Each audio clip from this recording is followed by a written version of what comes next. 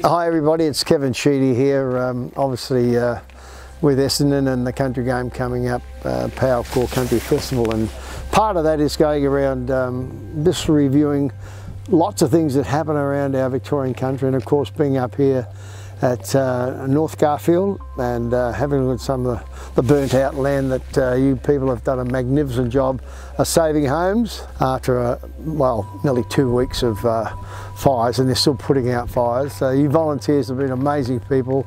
Uh, you beautiful Australians that uh, give up your day's work get out there and try and make sure that um, not only your own property but a lot of other properties are saved. After turning up a packet and I couldn't believe how tall all you career firefighters were, I should have done a lot of recruiting there for the, uh, the Mighty Bombers but look to the many many uh, career firefighters that assist the volunteers as well.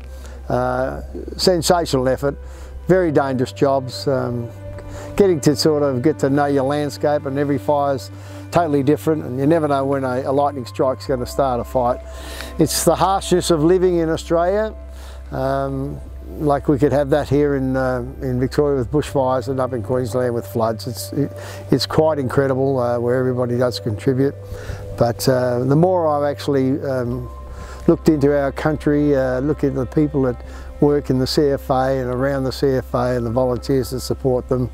Um, you know, to be out here in the dangerous bushfires that have happened not only this year, also around, you know, over 10 years ago and, and uh, Black Saturday and, uh, you know, to me it's just incredible what you do. And, well, you know, we've got an invitation opportunity there to um, have a lot of the volunteers come and march on the MCG. We're trying to get that sorted out.